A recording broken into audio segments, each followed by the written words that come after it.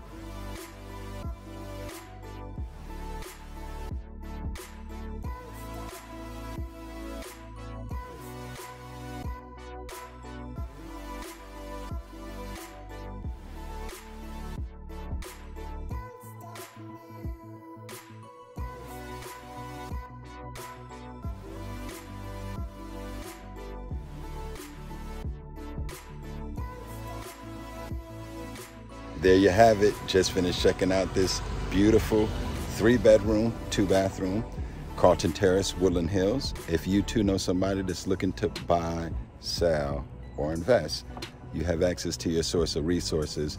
Make it a great day and be safe.